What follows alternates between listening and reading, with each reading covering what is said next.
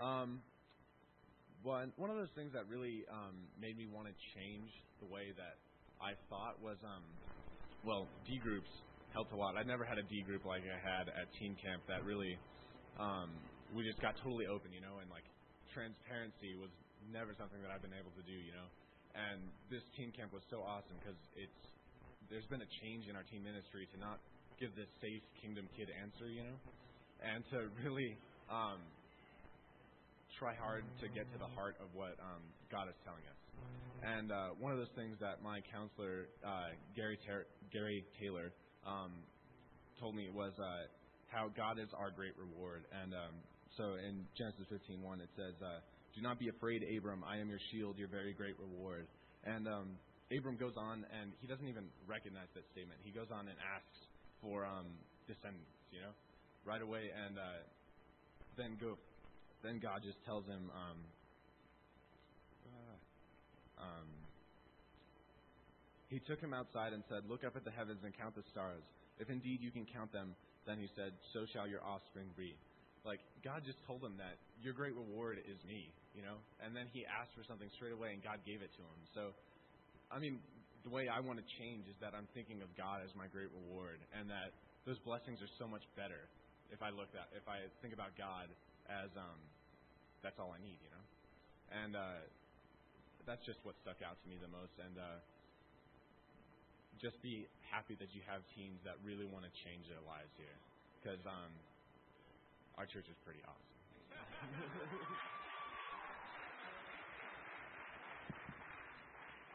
um, I'm Bryn. Uh, so it's amazing to me how God knows when you need to be transformed, even though you don't know it yourself. Um, this summer's been a, a big summer of changes for me. Um, I turned three spiritually.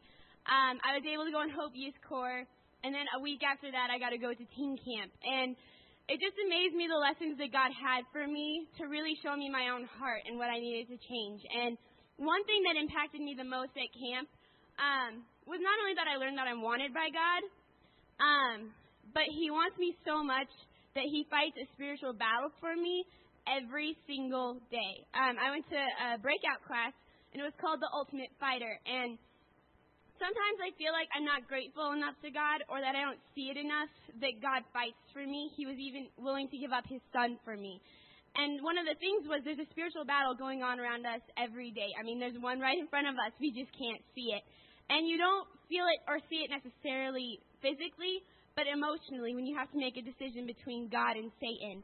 And it just, it really impacted me to go to school and fight for God and just be grateful for God fighting for me. And instead of stepping out in front of God and letting Satan hit me hard, to step behind God and fight with Him.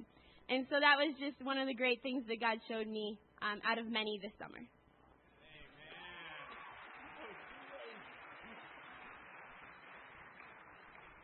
John chapter 11, I'm so proud of our teenagers. And they are young people, they're hopeful, but one of the things that always impresses me uh, when we go to camp is how radically and how deeply and sincerely kids can transform. And it convicts me as an older Christian, as having faith older than many of them are in physical age, that I'm much less quick to change. And that doesn't mean just repent. I mean, really embrace all of God's truth. And the number one thing that we talked about that I want to share just briefly here at communion is that you are loved. If any of you have been reading the, the Lazarus life, a few of us have, you'll know these, these thoughts will hit you. But um, again, I, I wanted to communicate these to all. Human love can do this for a few, that is to love everybody. But only sacred love can love each one of us. Loving en masse is something that a benevolent dictator does for his people. Loving with distinction is something only God can do. And he uses a great example of his children. And I, it, it uh, hits me with my. One of my children comes to me and says, Daddy, do you love me? And I say, Of course, because I love all kids. And kids are awesome. And kids just have a great spirit. And I would be lonely if it weren't for children. And so, yes, I love you. Does that answer ring? No, they want to know I love you individually, specifically. But yet many of us I look at God in the same way. We come to church and we hear that God loves you and we say, God, do you love me? And you hear, I love everybody because I'm God. But until you can embrace that He loves you by name, He loves you specifically. Not because He has to, but because, as in the theme of Teen Camp, He wants to. You are wanted. He knows the very hairs on your head. And so there isn't just an en masse, although God does love everybody. He loves you specifically. The challenge is will you accept it? Will you accept being acceptable?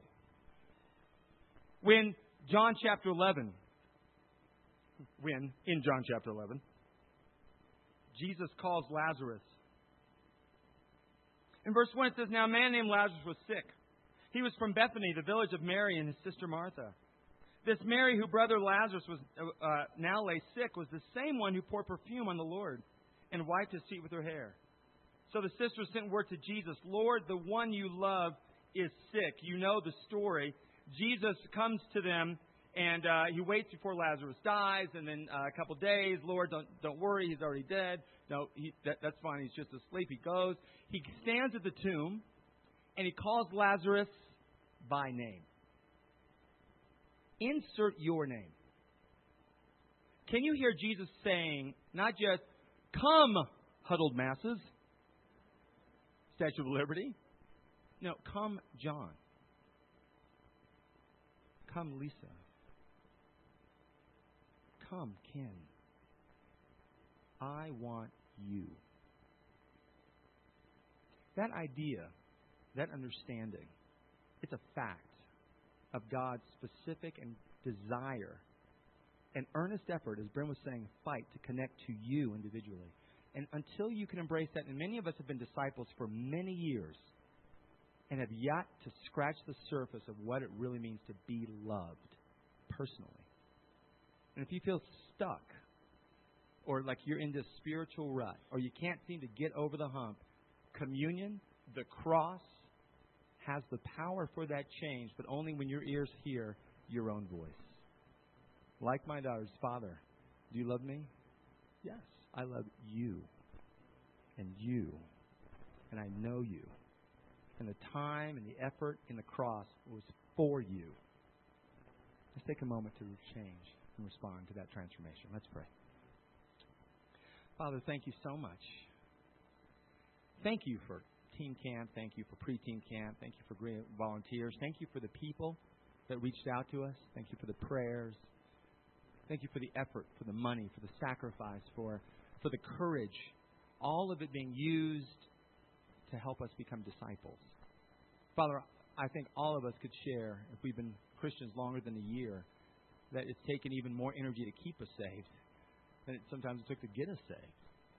And thank you beyond that that you are willing to fight with us and for us to the very end. And Father, we want to be able to stand before you and say, Well done. To hear those words, Wade, well done, good and faithful servant. Debbie, well done, good and faithful servant. Insert name. Father, help us open our ears to hear our specific name and respond to your calling. We love you. Thank you for these elements that remind us of that love. In your son's name we pray.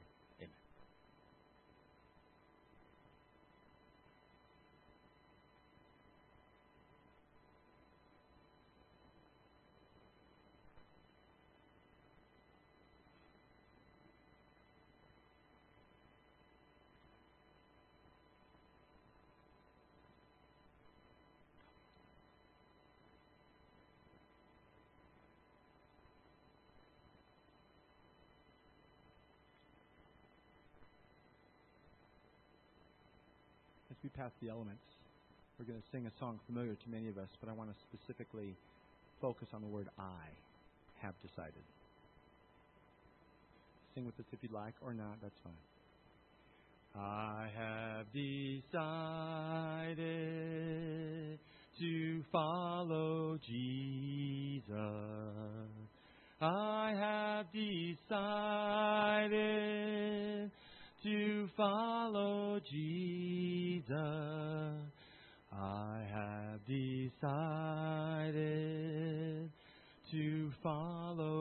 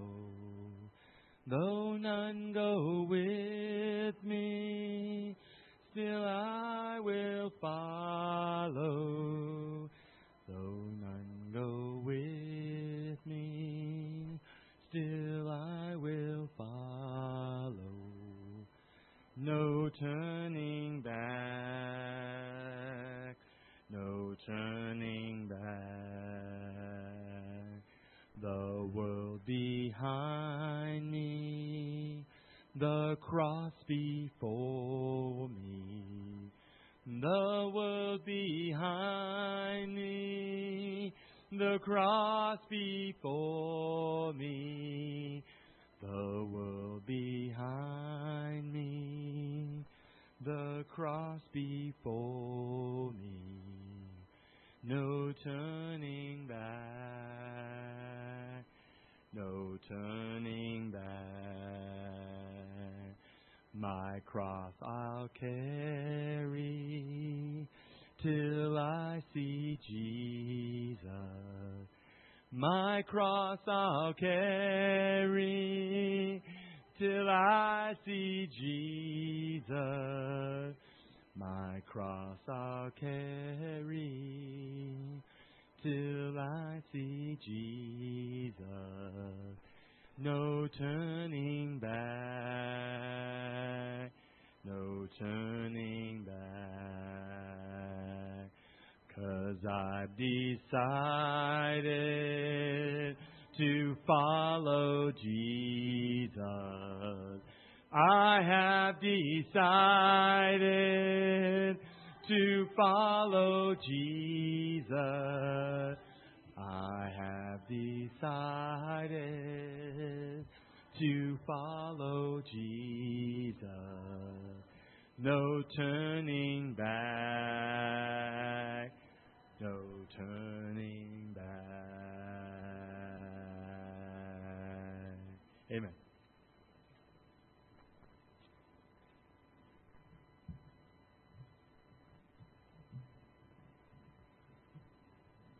In a moment, we're going to hear a wonderful sermon by the man who never stops praying for the saints, John Lusk. Let's stand and sing one final song first.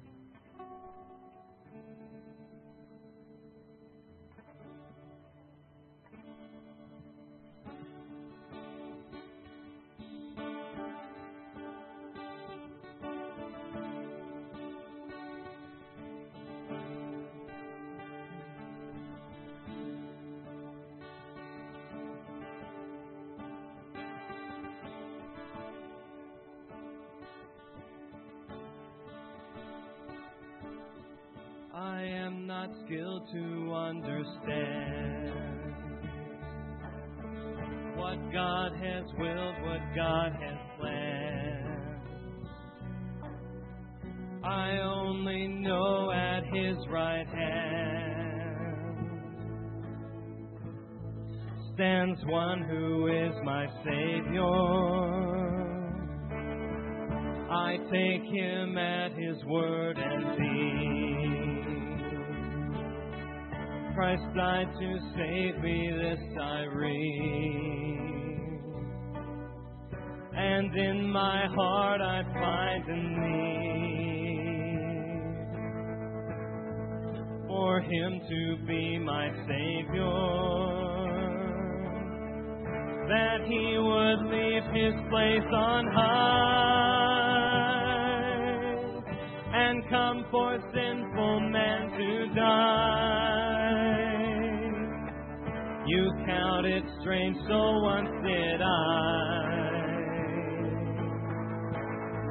Before I knew my Savior, my Savior loved